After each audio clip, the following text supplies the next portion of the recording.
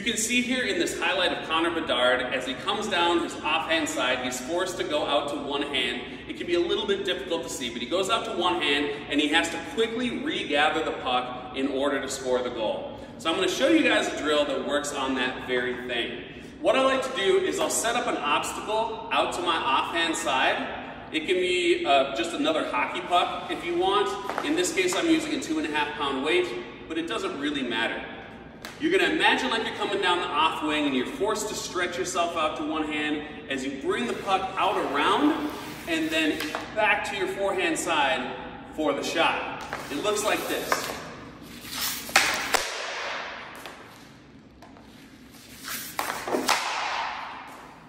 Now one of the key things here is that as you're pulling the puck back to you, your weight kind of shifts over to your inside leg so personally, I like to take the shot off of the inside leg, but I wouldn't say that it's wrong if you want to shoot off of your outside leg. That's okay. Doing this drill is going to put a lot of resistance on your top arm. It's going to force you to really have to be strong to handle that puck, which is going to in turn make you stronger on the puck when you're coming down the off wing like Mr. Bedard in the video.